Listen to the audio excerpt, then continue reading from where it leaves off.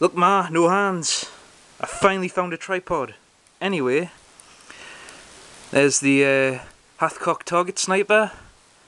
I've uh, camoed it up and I've added the slingbow mod which is uh, held in by a little bit of velcro so I can easily take it off. I haven't shot it yet but uh,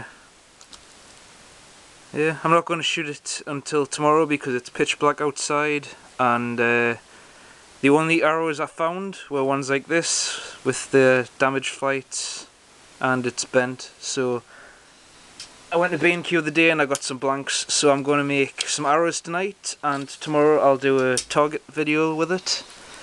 But until then I just wanted to show my little slingbow mod that I did to the uh, Hathcock target sniper and like I said, it's just held on with the Velcro, so take it off, stick it in my pocket, shoot balls, get bored of shooting balls, take it out my pocket and attach it. And it's now perfectly in centre and it's in line with the top of the forks for the best accuracy with an arrow. Uh, down stepped the arrow rest here? So when I put it on the uh, slingshot when my hands wrap around it my thumb grips onto it for a little extra grip.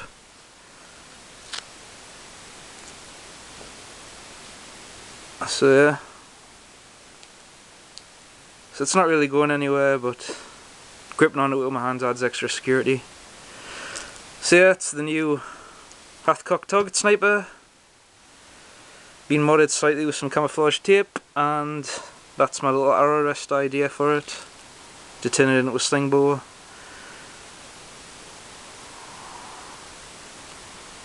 So yeah I just want to show that.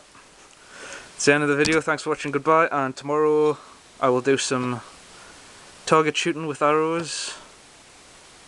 But until then I just wanted to show that. So yeah Thanks for watching and goodbye.